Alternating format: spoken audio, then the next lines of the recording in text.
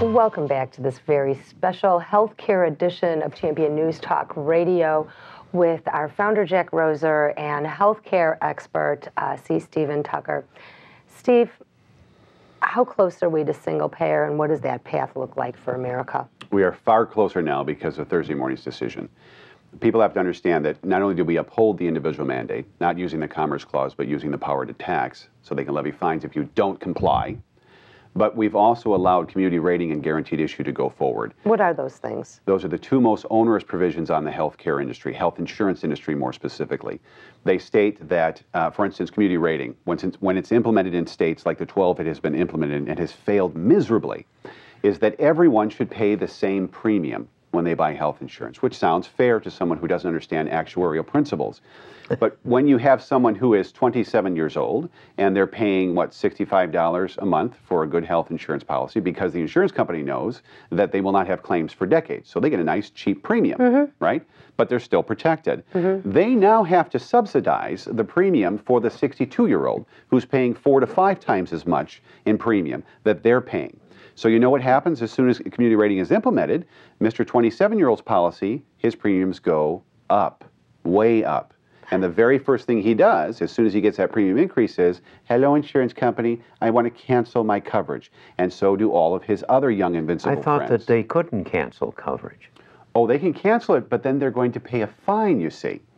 Do you know what the fine is in 2014? So he can fine? escape his um, big payment is put on. What is the fine? To The balance fine his- is $95 in 2014. Do you think a 27 year old would rather pay the $95? For the whole year. For the whole year. 90, yes, that's a $95 fine. Oh, I'll pay the fine. And then in 2016, it graduates to a whopping 695. Do you think he'll pay 695 instead of the 2800 it's going to cost him on average for a government Right. approved health insurance plan? Worse yet, how are you going to get that $695 from a 27 year old? How many people in this country pay income taxes?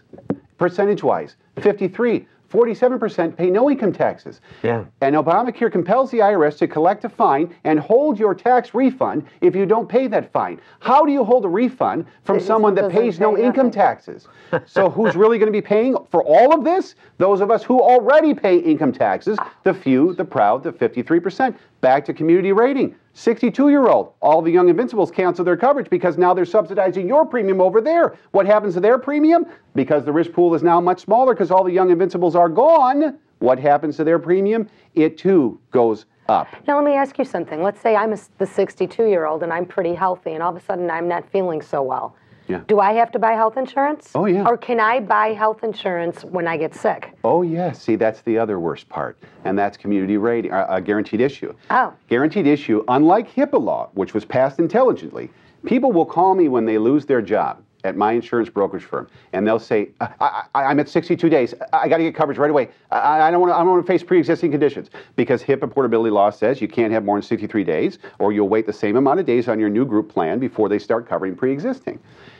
Obama scrapped all of that and said it's better if you just wait until you're sick and then you buy coverage, So you're telling me I don't have to buy health insurance until I get sick? unless you want to pay the fine. And the fine is a fraction of what health insurance actually costs. And in fact, we're seeing it now. There are companies and manufacturers all across the United States that have provided health care coverage for their employees for decades. They're Right. abandoning that. They're saying it's much cheaper just to pay the fine. we have lost 20 now, wait a health insurance companies since Now, this wait a minute, legislation uh, passed. In Illinois The, the uh, country? the government sets the fine too, don't they? oh, yeah. So when that doesn't cover the thing, They're gonna raise the fine. The fine is going to go up. You so it looks, bet, Jack. You're what looks like a seventy-five dollar fine now right. could well be seven hundred That's right. or a thousand. That's right. Could Or be whatever 2,000 or- whatever the damn government wants. That's right. But they have to have the majority to do that to raise taxes. Okay. How does this get to Again, single why it's so important for us to win. How does this single get to payer. single payer? We have lost 20 health insurance companies, not being reported in the mi- in the lamestream lapdog fully compliant media, but 20 health insurance companies have- Across the United States. across this country have either stopped selling health insurance, filed for bankruptcy,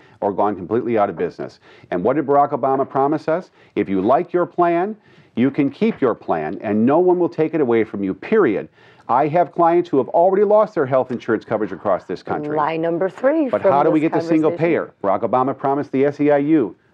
It will, it'll take us a while to get there, but single payer is our goal. How do they get there? Who They is a single payer? Government-run government. healthcare.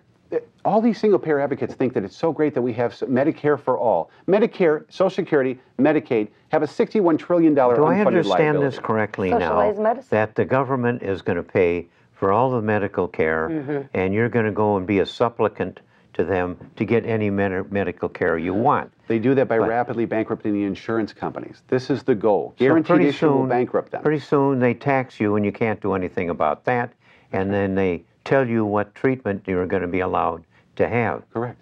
Correct. Uh, and boy, we're that- headed that way. When we re- when we bankrupt the rest of these insurance companies, only the few will survive. The big ones: United Healthcare, Humana, Aetna, And then they'll be taken they will over by the become government. public utilities, mm-hmm. and they will have to be subsidized by the U.S. taxpayer because we've thrown all the actuarial guidelines out. We've thrown all the underwriting guidelines out. You can wait to buy a plan until you're sick. You can dump it, get it later when you need more medical care because it's guaranteed issue. It's just like waiting to buy a homeowner's policy for your house until it burns down, calling State Farm and asking them to pay for your house. You know what? Please stay with us. You do not want to miss the next section. How of do you leave Champion News America? The break. And go to a place where you aren't treated uh, as some kind of a chattel They're all of the coming government. here. They're coming here for their care.